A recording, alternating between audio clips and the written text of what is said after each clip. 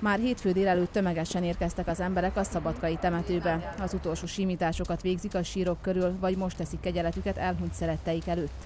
Szebbnél szebb virágok ezrei díszítik a temetőt.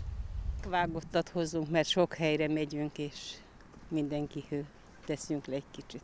Sokan otthon termesztett virágokkal érkeznek, ha bár a hűvös idő nem kedvezett a növényeknek. Azért hoztuk be, betettük a szobába, vödörbe, vízbe, és látja, mert valamennyire kinyílott. Akinek viszont nincs otthon, annak sem kell aggódnia. A virágárusok a temetők kapujában reggeltől sötétedésig várják a vásárlókat. Például a vágott virágok, amit itt látnak elő, az 100 dinár szálja. Malo je 80 već je 100. De a, akkor vannak a mécsesek, azok 50 dinár darabja, vannak ilyen kisebb virágok, például ez 300, dinár- 300 dinár, van 400 dinári, van 200 dinári és 500 dinári. Az emberek többsége nem sajnálja egy évben egyszerre az erre költött összeget, viszont elővigyázatosságból mégis sokan az olcsó virágokat választják. Az ünnepek közelettével ugyanis lopások gyakran előfordulnak a temetőkben.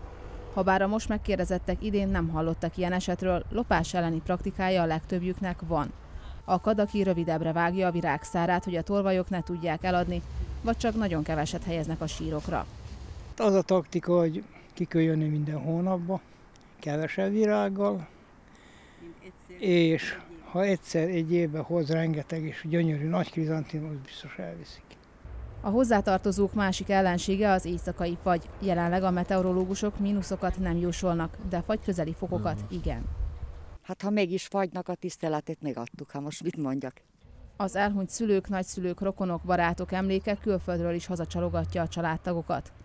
Mikor hazajövünk, akkor benézünk a Akkor ez az első. Ki temető az egyik, temető a másik, azt csapjuk az ajtót és megyünk tovább. A temető környékén sült gesztenye árasztja illatát, és idén még az időjárás is kellemesebbé teszi a temetőbe látogatást.